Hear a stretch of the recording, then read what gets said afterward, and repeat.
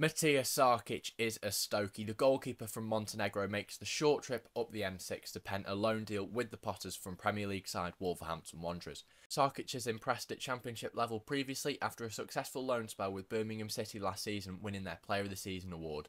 During his time at St Andrews, Sarkic made 23 appearances and in the process kept 10 clean sheets until injury prematurely ended his season.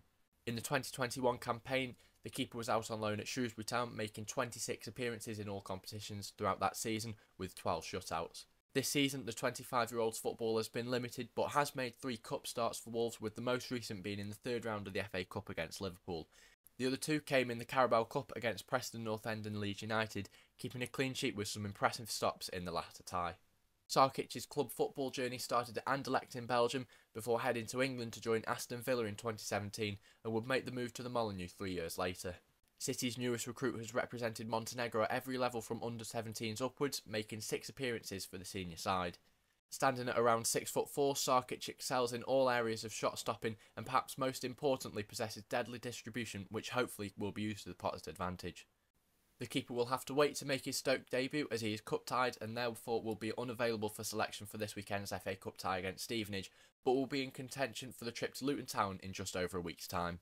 It was crucial that Stoke signed a confident and dominant goalkeeper this January following Joe Bursik's departure to Club Bruges and Jack Bonham continuing to endure rocky form during his time in the Potteries. City have had trouble selecting a consistent number one since 2019 with Jack Butland, Adam Davies, Bursik and Bonham sharing shot stopping duties over the past few seasons in his first interview with the club, Sarkic said he's excited to play football and show people what he's made of. Matija also said he's complete in all areas and emphasised how important communication is to his game. Manager Alex Neil added, Last season proved Matija is more than ready for the challenge of Championship football, and the Scotsman said he is delighted to have secured his services. Welcome to Stoke City, Matija Sarkic.